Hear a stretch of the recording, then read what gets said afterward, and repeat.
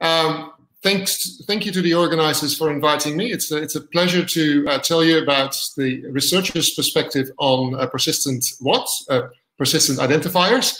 Um, until a year ago, I was the researcher member on the ORCID board of directors. Um, that was a very steep learning curve for a researcher.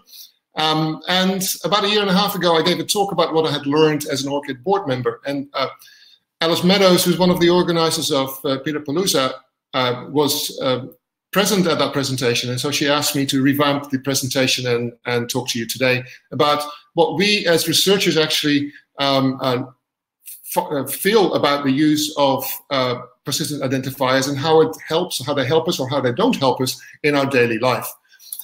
I'm going to take you on a journey, uh, in essence, take you along on my journey through the, the, the wonderful world of persistent identifiers uh, but before I do so, I would like you to um, fill in a poll because I don't know who I'm talking to.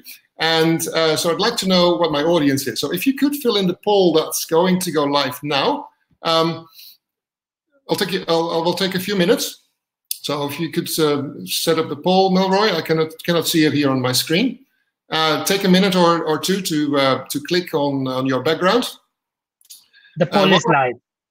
Thank you. While I do that, while you're uh, getting your act together, I'd like to uh, follow in a, an established tradition here in Australia and acknowledge the uh, uh traditional owners and custodians of the land I'm currently speaking from. These are the uh, Wangal people of the Eora Nation. I'm in Rhodes, western, uh, inner west of Sydney, and I pay my respects to their elders past and present. How are the results, Mel Melroy? Are we getting enough people participating? So you've got uh, five people from PID providers.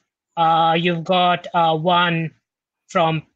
Uh, it's changing. Yes, we are having a fair few of them actually answer. So there is there are people from the library, PID providers, platform providers, publishers, repositories, research institutions, and there are a few others. I'm not sure what that is, but Right, sure. No, we didn't know either. That's why we put it there. um, right, so uh, thank you for uh, putting up the poll. Unfortunately, I can't see it here on my screen, but uh, we'll, we'll, look at it afterwards. Um, so most of you are not researchers. And uh, throughout the day today, we've seen a number of wonderful initiatives um, advertising what one, one can do with, uh, with PIDs and uh, I'm actually quite excited about all this, and I'm going to use them more in the future, I think. But um, from a researcher's perspective, it hasn't always been that clear as to what PIDs can really be used for. So let me take you back a decade and start from my own, my own journey at the time. In 2010, I was based at the University of Sheffield in the UK. That's that uh, uh, red area, Yorkshire, South Yorkshire in the UK. And in 2010, I moved to a senior position at Peking University. And uh, so I went from the UK to China. Now, I was, I was, I knew what to expect to some extent, but in China, I really realized that most people have similar similar names. And so, as we will see in just a moment, uh, the large majority of people in China are called Li, Chen, Zhang, Wang, Ma, etc. And there's a lot of them with the same surname. And, and, and those Western or English transliterations of their names are not necessarily associated with the same character. So you can see the problem that we have here immediately. Which Li are we talking about? Which, with Chen, which Jiang, etc. Now, when I moved from the UK to China, I was aware, vaguely aware, of a number of PIDs. Uh, the, the, Scopus ID uh, was something that I had actually uh, been working with for a little while, and DOIs had been around for a bit longer. And so I knew about those things, but didn't really think about them too much because they didn't have too much use other than DOI being useful to, to find papers, right? So in China, we had 1.4 billion people. About half of them, more than half of them, have only 20 surnames. And so you can see the problem there. If you want to identify someone who has the same surname and also the, the first names or the, the, the, the, family, the other name, the, um, you know, the, call, calling name, they tend to be fairly similar. So we needed a way to actually identify the individual researchers in China uh, because of the name uh, ambiguities. And so um, here you can see most of those people, uh, these, these, are density maps, dark blue is highest density, and most of them actually lo uh, uh, located around those red um, uh, locations in the north Beijing and towards the southeastern coast Shanghai. And, and a lot of people with the same same surname live in those cities where also most of the research institutions are located. Now, I spent about 12 years as a scientific editor, followed by a deputy editor-in-chief of two of the main journals in, in my field of astrophysics, the Astrophysical Journal, followed by the Astrophysical Journal Letters. And as scientific editor, one of the things I did, other than uh, assessing the quality of papers, is find potential reviewers for those papers. Being based in China, clearly there was an opportunity here to engage more of my Chinese colleagues. But everyone being called Chen or Li or Jiang, I didn't know necessarily who to approach to review those papers. So name disambiguation became a major issue in my life. And so around 2013, um, I learned about the existence of ORCID, and uh, I, I, saw that ORCID had established had established an ambassador network. These were volunteers based uh, all around the world and their idea was to push the idea of ORCID to local research organizations, libraries, um, um, all kinds of small organizations. And so I applied to become the China representative because there was no one in China at the time doing so. And that was irrespective of the fact that my Chinese was fairly rudimental, and so this was an issue, of course. Um, I did this for a number of years, and I found it very difficult because in China, the idea was, well, we don't want to give our data away to repositories that are based somewhere overseas. We want to do it in-house. Now, an ORCID like um, repository inside of China is useful for the domestic market, but it doesn't work internationally. And so there was this tension going on. Um, and so I, I continu continued to promote the idea of disambiguation and I continued to promote ORCID. By now, that ambassador network no longer exists. Uh, we now, or ORCID now has a number of uh, paid staff members at uh, key locations all around the world. And so they, they and that's another thing, because as a volunteer, I was not necessarily taken seriously. As a salaried staff member, you are taken more seriously. And so here's this is the type of thing that I showed my contacts in China. Right? Not, this is, of course, a Greek, a Greek name, but there are many people with the same surname, but having different ORCID IDs can disambiguate them. Uh, and you know that, of course, being all part of the PIDapalooza uh, meeting this time. So in 2017, I joined the ORCID board of directors, uh, directors as a researcher member. And this is great fun, but um, it also was a jump into the deep, and I learned a lot of things I've never heard of. I've been interested in publications and publishing for a long time as an editor of a journal, but really the first two or three meetings of the ORCID board of directors went way over my head and I tried to contribute, and I'm very pleased to say that uh, I actually argued very strongly that um, as a single researcher member on the board, I could only represent, in essence, the physical and natural sciences, be, being an astronomer by training, and I had no idea what uh, was happening in the humanities and social sciences. So, to my delight, uh, ORCID, the ORCID board of directors, uh, agreed to add a second researcher to the team uh, in the field of humanities and social sciences, and that that's been a great success, I believe. So until the end of 2019, I was a researcher member on the board. I learned a lot. I really enjoyed being part of the project. I thought it was a real cool project. But really, I was wondering, why should I care as a researcher? It was great being part of the family and great being part of this initiative. But as a researcher, I didn't, didn't see any benefits at that point, even as a board member. If you're interested in my journey, the uh, URL of, uh, of a blog I wrote towards the end of my tenure is uh, available at the bottom of that page. Now, that's my involvement with PIDS, um, in essence, about nine years or so. Uh, I've got a second poll here that uh, I'm asking Melroy to put up now. Can you please tell me how long you've been involved with PIDS? The poll is up. Thank you.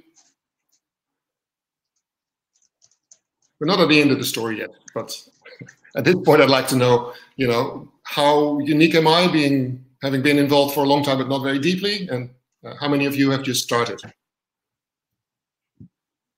Melroy, any results? Yes. Uh, so far, it's 44% is between two and five years, uh, 27% more than 10 years. Wow. And yeah, it is fluctuating a fair bit though. I've I've seen um, a, a, number of names of very senior ORCID board members uh, with whom I shared uh, board membership for a while. So I'm sure that th those people have been active for more than 10 years. And uh, Yeah, so they, they know a lot better than me, of course, how things are, are working. So, so right now it's stopped. It seems to have stabilized and it's, yeah, just when I say that, it has to move, doesn't it? That's okay. Uh, that's fine. Okay. That, yes, go ahead. So uh, you've only got about 15% who've been involved with PIDs for two years. Uh, and then between two and five, five and 10, and more than 10 years, it's about 30, 25, and 25. All right. Sounds good. Thank you very much, everyone. So, okay, so I told you how I got into this and how ORCIDs um, became a part of my life, and it was, was great fun and an enormous learning curve that, that I, I think was fantastic. But how useful was ORCID really for me? Now, in uh, 2018, almost three years ago, I moved to Macquarie University from Peking University. And as part of the onboarding, this is an actual screen from the onboarding, it said, welcome to Macquarie University. Now link, link your ORCID to us. The first thing, pretty much the first thing that they asked me to do is link your ORCID to us so that we get credit for all your publications and we go up in the rankings. Of course, that's what it is all about. And oh, by the way, don't forget to also link us to your Scopus ID, but that was apparently not that important. So ORCID became important. A day or two after I joined Macquarie, I checked my ORCID, and look at that. The first employment item is that I was at Macquarie University, and this was added by the university. So they really care about this. And so I started to think, oh, maybe my, uh, my activities within ORCID have been useful to some extent. Um, it's linked to my Scopus output and my ORCID output. You can see that here. This is from um, uh, a couple of weeks ago, uh, my publication record here. As a senior academic, this is kind of what you expect. It's going down a bit because I'm now an associate dean. And so that means I do a lot of admin, faculty admin, uh, rather than research. But uh, of course, the last data point is for this year, but just not no publications yet. But again, ORCID is linked there. And the university is linked there as well. They really insisted on getting that done quickly because it normally takes a long time to change affiliations. Um, we use the uh, Pure Research Management, management System.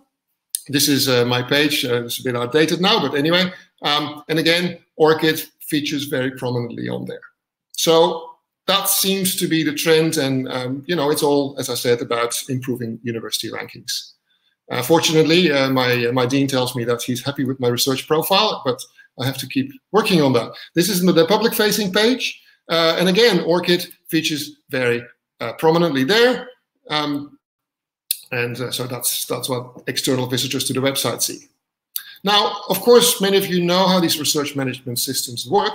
You can add your publications. This is from a recent uh, screen grab um, of, of uh, some of my publications, and they're all linked. Um, uh, they've all been imported through through ORCID. Uh, I maintain my ORCID records. I can use uh, Pure to actually import new publications from ORCID. And occasionally I get a flag saying, hey, there's another publication. Can you please check that it's yours? So that's helpful. I don't have to actually add anything manually. I did it maybe for uh, up to a handful of articles when I first uh, um, uh, initiated the, the Pure record, but, um, but it's now almost automatic. So that, that actually saves me time. Now, a couple of years ago, two or three years ago, we published, one of my former students published an article in Nature Astronomy. We're very happy. You may have seen uh, a number of press releases about that. We called this uh, Our Milky Way Galaxy is Warped and Twisted. And that was, of course, picked up by a lot of the uh, normal media, uh, including uh, unlikely uh, science newspapers like The Sun in the UK, which called us space boffins and said that we were going to look at what this meant for humanity. That's not true, but anyway. But look at the name, look at the names there of the authors uh, other than that are all Chinese and, and me not being Chinese, what you see there is I've got some affiliations there, but no ORCID ID. And clearly I've been, uh, you know, on ORCID for quite a long time. And so I was quite miffed and, and very unhappy that this, this had not been in, included. And the first author I just forgotten. Now, fortunately, um, it did show, the paper did show up in my ORCID records and it came through Crossref. So fortunately, it's good that it's, it's all linked because ORCID actually sh showed up in ORCID, and that way it got um, imported into Pure. So, phew, at least I got credit for that paper, and we got a lot of press out of this as well. Great fun. Um, and there it shows up, it's the top paper there in that list, which I could add. Sorry, that's I forgot that. Now, at the moment, as I said, I'm an associate dean at Macquarie University. My uh, portfolio is international. And now you start smirking probably because international is a bit of a problem at the moment, particularly here in Australia, where the international borders have been closed since March, and there is no real prospect of them opening until the, the second half or even later this year. Nevertheless, we have, for instance, a, traf, a, staff travel scheme, of which I'm, I'm the chair of the committee in, in, my role as associate dean.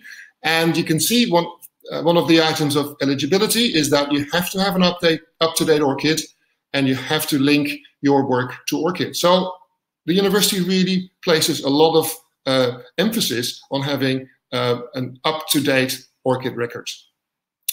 So that was until about two years ago, uh, ORCID became a bit more useful, but still I was like, yeah, it's useful, but perhaps I can do it in a different way as well. Now, as you probably know, as a researcher, I need to apply for research funding. There's a lot of uh, funding organizations out there, of course, but uh, one of the key organizations that we use here in Australia is the Australian Research Council.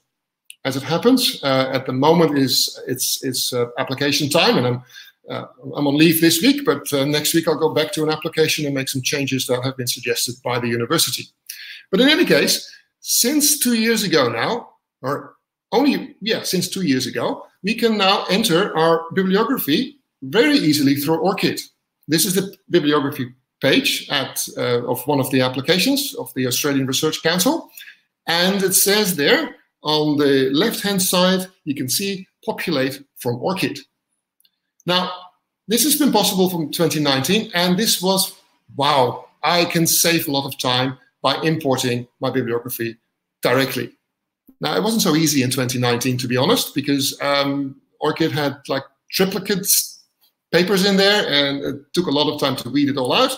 This year was a lot easier, so I was actually very pleased about that. So from it, it seems to be working. And so ORCID is starting to be very useful for me at this point, and I'm very pleased about that. Having said that, um, my current application I'm working on with one of my colleagues from within my department, and she's all fine, and she's done her bibliography herself, and an external collaborator from Europe. And if you've ever collaborated with um, Australian scientists on uh, Australian Research Council grants, you know that anyone and everyone needs to provide a lot of information about their background, their CV, CV in, a, in a very specific pre-formatted uh, uh, format, and they have to enter their publications, up to 100 of them. Now, my external collaborator from Italy does have an ORCID. Great. Not really, it's empty. There's nothing in it. And he was busy, he didn't know what to do. So I said, you know what? I will um, give me your username and password. I fill in all of the details that I do need to fill in, and then you just approve it. Now, not having the ORCID populated was a problem because it didn't import any of his papers. And he had to import his 10 best publications from uh, throughout his career, as well as up to 90 other publications to fill out the list. But then I realized ORCID allows you to add data, your publications, by DOI. Now, in astronomy and, astro and astrophysics, um, we don't use uh, any, well, we don't use general uh, repository so much. We use the NASA Astrophysics Data System, which pretty much contains every single astronomy paper that was ever published since the mid 1800s. So it's a great resource and we all use it. And every single paper in there contains a DOI, at least from a certain date onwards. We had a good presentation earlier today about historic papers and the need for, for DOIs there. And I'm very pleased to see that that's actually happening now as well. So I said to Giuseppe, well, you know, I'm actually doing some astronomical observations tonight, and we have um, uh, observations that run for an hour and a half straight, and then another hour and a half straight. So I have some time, and so I went to his publication list from the NASA ADS, Astrophysics Data System. I copied the DOIs and added them manually to that bottom, add DOI, and within about half an hour, I had added his 90 publications. So it only took me half an hour to do things from scratch. Great. So these persistent identifiers are starting to become really helpful. And that's my conclusion as well. PIDs, particularly DOIs and certainly ORCID, have now reached a stage where they're getting useful to me in my professional life. It has taken a while, but I'm hooked and I'd like to do a lot more with them. And I've seen a lot of fantastic initiatives over the last day when, uh, when I've been following the, the conference. So that's all I have to say. That's my experience as a researcher. Uh, I'm perhaps not uh, your typical researcher because I'm more interested in these, these PIDs than some of my colleagues, but at least you've got an idea of what researchers go through. Uh, thank you very much for your attention. I'm happy to take questions.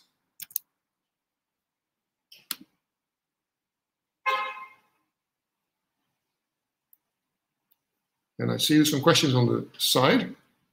Yes, thank you very much for that, Richard. Uh, one of the questions that uh, we've had uh, Melissa ask is uh,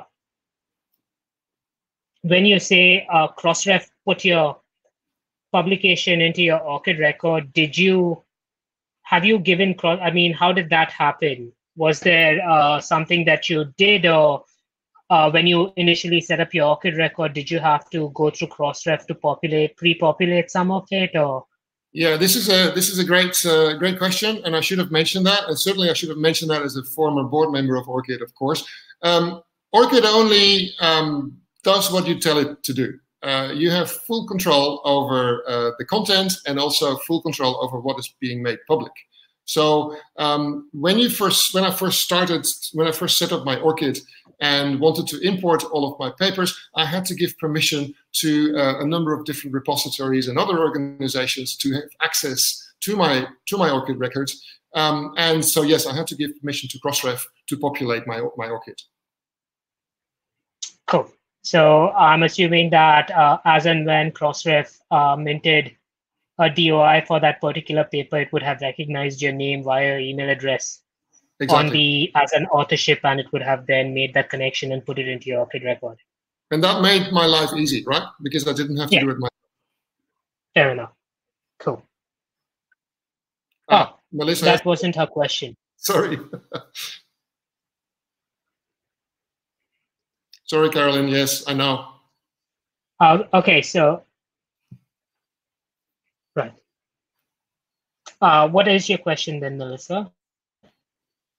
Oh, there's an ask a question. Any other problems as a researcher that you'd like PIDs to address? So as I, as I said, my, my journey has been one of um, reluctant interest, I would say. Um, I, I could see the use of these of all these PIDs, ORCID, DOI, Scopus, all these things. But it's taken a long time for it to become really useful to me. And I am open to this, clearly having been active as an editor, etc. And, and I do, uh, I continue to do uh, quite a lot of, of in, in that area.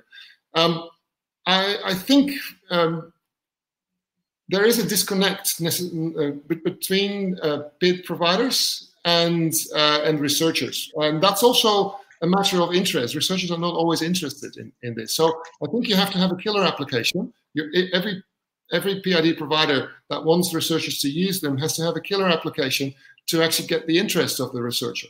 But once the researchers see the use of the uh, of, of of the application, I think uh, it'll take off. Cool. Thank you very much for that, Richard. Uh, just a couple of more questions.